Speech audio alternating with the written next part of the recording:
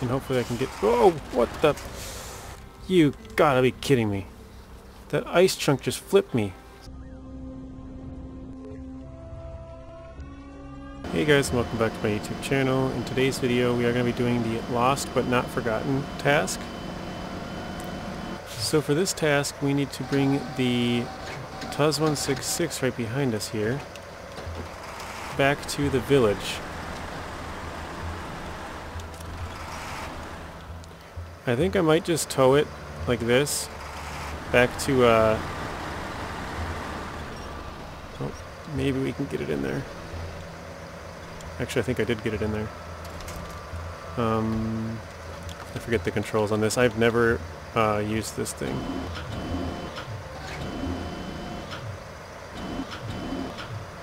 Oh wait, no. I need to lower it and then raise that, I think.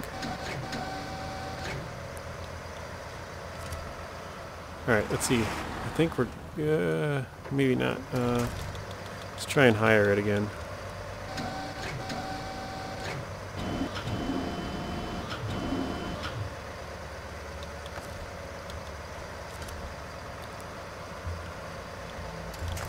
Let's try and attach a winch from here. Where is my winch at?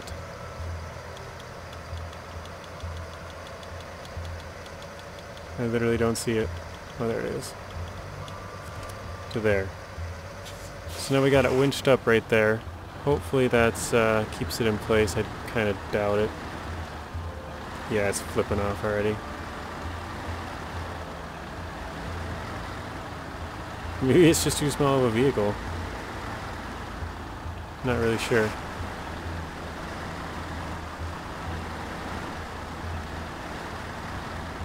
Now it's just way up in the air. I wanted to higher it, make it higher because all the, uh, the rocks and stuff through here, but yeah, once we get onto normal ground, it's probably gonna look crazy high.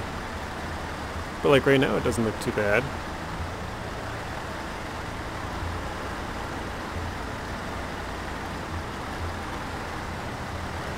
Wait, is that a truck?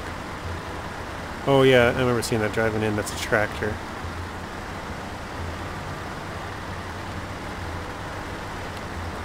We're just going to be driving through these trees back to the uh, road, which, if I go like this, you can kind of see the road right up in front of us there. You can see the guardrail off to our right. I think we're gonna we're gonna go just to the right of this tree up in front of us. This or two broken down trees, I guess. And uh, then we should be able to get back on the road. I'll try and hook this thing back up a little bit better, and then I think I'll take a screenshot while I while I got it hooked up, and then we'll try and bring it back to the village, which should be pretty easy once we get uh, back to the main part here. Let's put it in low plus and see if that moves any faster. That definitely did move faster. Or maybe the ground was slightly better. But it definitely seemed to move quicker. But again, we were on that little hill there, so maybe it was just that little little chunk of dry ground that kicked it up. I don't know. Oh, come on. Oops. I don't do much first-person driving. Probably should do that more, just to change things up a little bit. Am I stuck? That's the only thing though, I can't tell if I'm stuck on something like this, like, doesn't look like I'm moving. But if you're doing this, I guess it doesn't look like you're moving then either. There we go.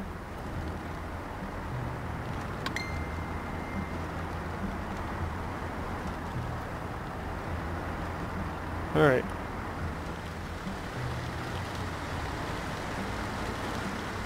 Turn to the left here, we gotta go across the...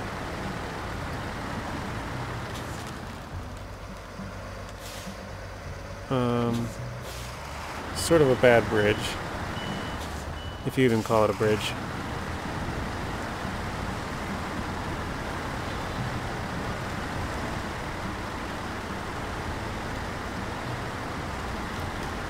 a lot of mud. Okay. I had to check to make sure I was going the right way.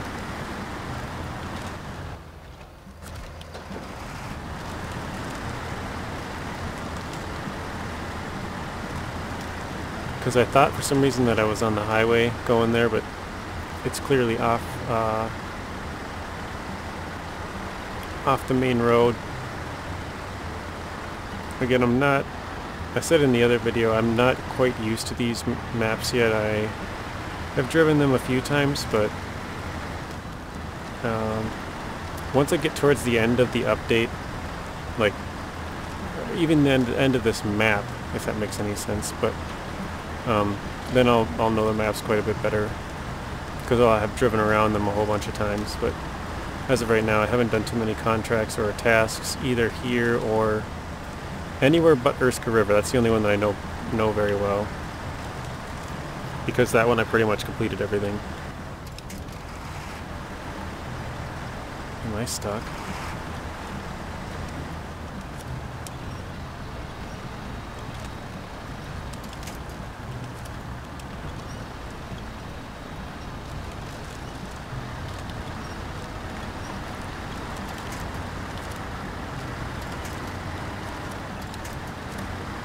Alright.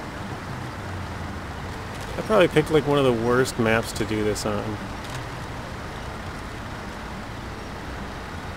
Or maybe one of the worst contracts, I don't know. Not even using this vehicle how it's supposed to be. Well, I was until now. But...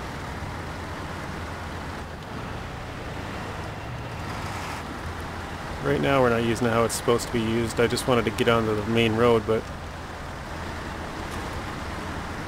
I think we'll hook it up once we get on this ice over here. Oh, shoot.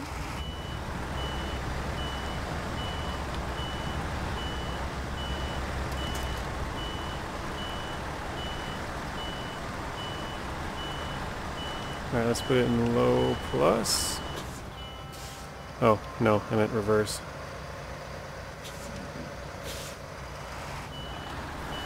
There we go. So you can't have your diff lock on in in uh, reverse unless you go in into the actual gear reverse, not just uh, not just holding the reverse. Oh shoot!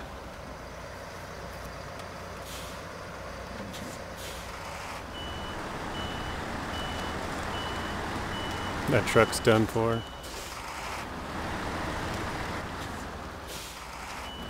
This is going to be like a 15 point turn here, guys.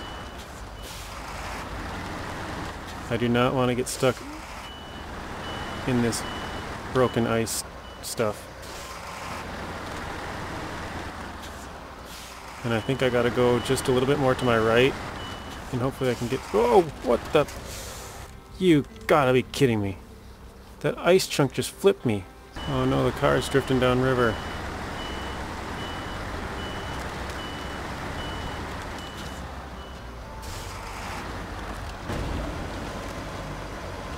god.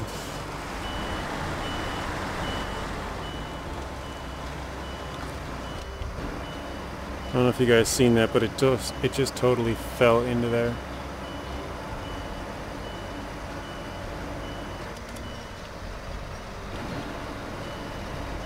Oh, here it comes.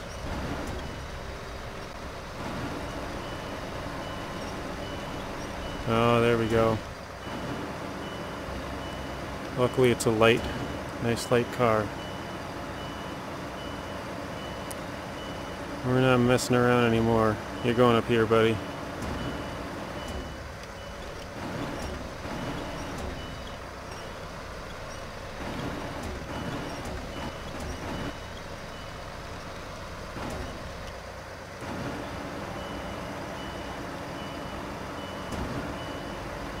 There.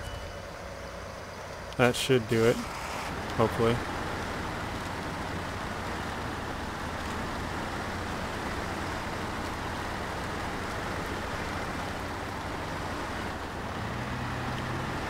Now I'm completely not using this thing the way it's supposed to be uh, used.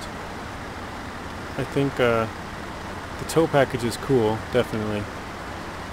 But unless you're on probably like Michigan, it doesn't seem very useful. It's just too rough a terrain most of the time. Actually, you know what? Don might be might not be bad for it either. It's uh, pretty rough, but I think it's I think it might be doable there.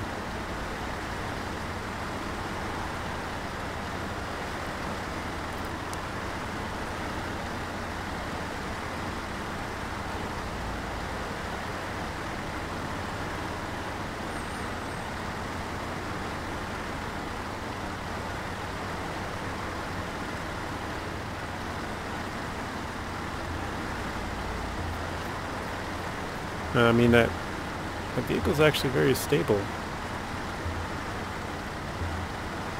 I didn't know if it would be or wouldn't be, but honestly, it's it's it's pretty well balanced on that side there. And then of course we got the arm on top of it, kind of keeping the, the end from flipping out. So it's I don't know, seems like a pretty good spot actually. I know I've actually set cargo on top of like look at that nice flat spot with three three edges. So you can put it on there and stuff will pretty much stay stay put. I need to turn right here actually. I could go the other way. You can see we got a CAT 770G up there. Man, this thing's taking a wide turn here. Maybe I shouldn't say this thing because I'm the one driving this thing. Alright.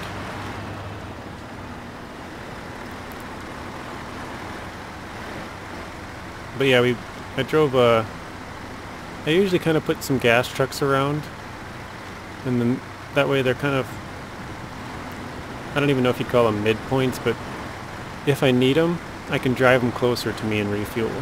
Um,